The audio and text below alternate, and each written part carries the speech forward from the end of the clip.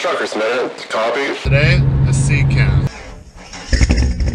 You heard the man. We're going out here to get a sea can. Must be an extremely large sea can in an awkward position. We got a big crane here. I offer my trailer as a place to put stuff because I'll be there. Back into here, it's a little tight. Uh, she tight like this. I go left.